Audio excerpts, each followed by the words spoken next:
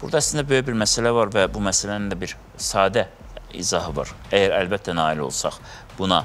İlk növbədə e, qadınlar kişiləri ailəyə dəvət edir. Qadınlar kişiləri sağlam, gözəl münasibətlər sisteminə daxil edir, dəvət edir, daxil olmasını istəyir.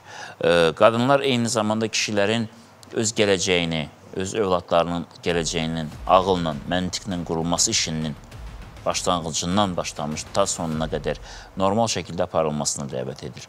Bir çox hallarda qadınların üzərinə düşən vəzifələr, qadınların üzərinə düşən öhdəliklər onların çiyinlərindən qat-qat ağır olur. Amma buna dözürlər. Bəzi hallarda qadınların üzərinə düşən istər məsuliyyət, istər münasibətlər sistemi, istər bütövlükdə idarəçilikdən tutmuş planlaşmaya qədər o qədər geniş spektrli sahələr olur ki, qadınlar buna da tab gətirirlər. Və e, bütün bunları bircə şey üçün edirlər. Bu amallar, o içindən gələn, onun taliyin ona bəxş elədiyi vəzifələrin icrası üçün. Qadınların bu işdə iştirakını, bu işdə uğurlu fəaliyyətini təmin etmək üçün kömək eləyə biləriksə, onların dəvətini qəbul eləyək. Yox, eləyə bilməyəcəksə, əvvəlcədən deyək ki, biz sizin dəvətinizi qəbul etmirik.